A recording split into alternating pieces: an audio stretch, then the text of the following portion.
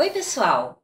Hoje eu tô aqui para ensinar vocês a fazerem o ritmo de valsa. valsa. Nós vamos usar a puxadinha. A puxadinha eu já ensinei aqui no canal.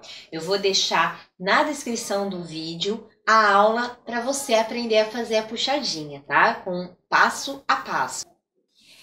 Nessa música nós vamos usar o Ré maior, Ré com sétima, Lá maior, Lá com sétima e Sol maior.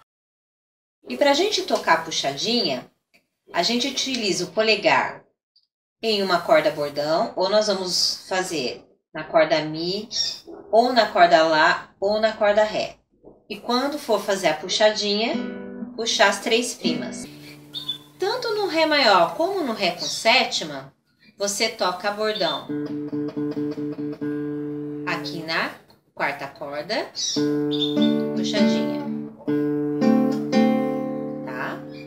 Quando eu faço Lá maior ou Lá com sétima, nós tocamos com o polegar a bordão Lá, quinta corda e a puxadinha.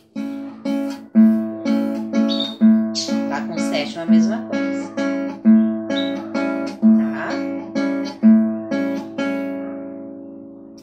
E quando nós fazemos o Sol maior, a bordão que nós vamos utilizar a corda Mi e a puxadinha.